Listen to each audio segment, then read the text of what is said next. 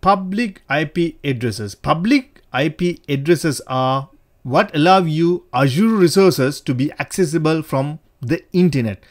These addresses are essential for services that need external communication. Real world example. You're hosting a web app on a Azure VM and need users worldwide to access it. Assigning a public IP address to the VM makes that possible.